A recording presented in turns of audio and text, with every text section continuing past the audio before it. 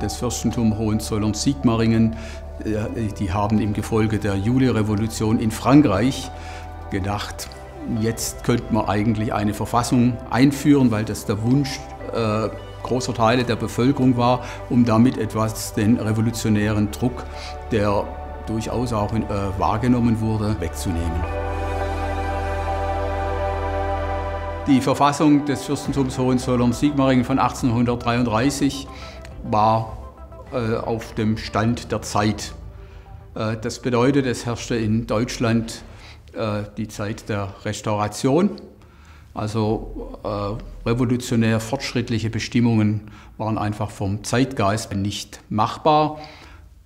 Äh, sie garantierte aber einige wichtige bürgerliche Freiheiten und entscheidend war, dass eben äh, es jetzt für das Fürstentum eine Verfassung gab, an die der Fürst gebunden war, aber an der auch die Untertanen äh, gebunden waren.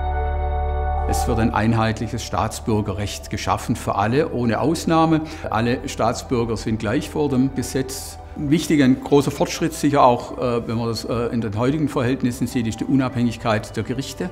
Und dann werden viele Freiheitsrechte hier definiert. Freiheit der Person beispielsweise, Freiheit vor Leibeigenschaft, Freiheit des Eigentums, Freiheit der Berufswahl, auch die Freizügigkeit. Das heißt, entscheidend in der Verfassung ist sicher, dass das monarchische Prinzip durch die Verfassung nicht angetastet wurde.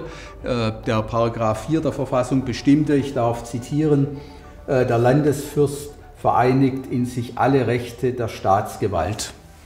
Das ist äh, gerade das Gegenteil, als was das Grundgesetz sagt. Das Grundgesetz sagt ja, alle Gewalt geht vom Volke aus.